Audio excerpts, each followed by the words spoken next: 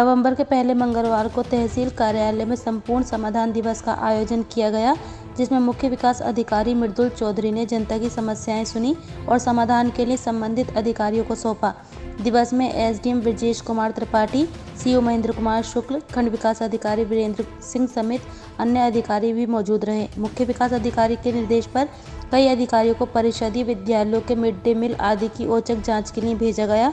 डिंगरपुर गाँव के कुछ लोगों ने आकर विद्युत विभाग की शिकायत की। किचन के दौरान ऐसे लोगों पर एफआईआर दर्ज करा दी गई जिनके कनेक्शन पहले ही बंद कर चुके हैं। इसकी दोबारा जाँच कराई जाए नागरिक एकता परिषद के बैनर तले नगर की महिलाओं ने प्रधानमंत्री आवास की मांग उठाई। क्या नाम क्या आपका?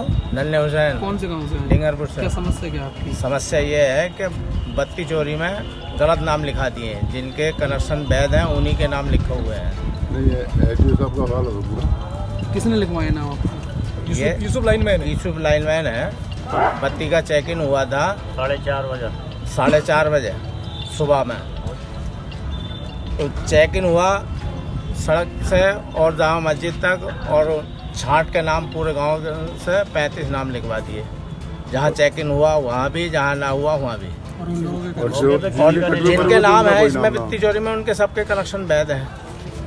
मौके पे किसी का भी अच्छा, चोरी में कब? लिखा गया बाद में ये लिस्ट बना के कौन सी तारीख में? छह तारीख में छह- सुबह साढ़े चार बजे मॉर्निंग में।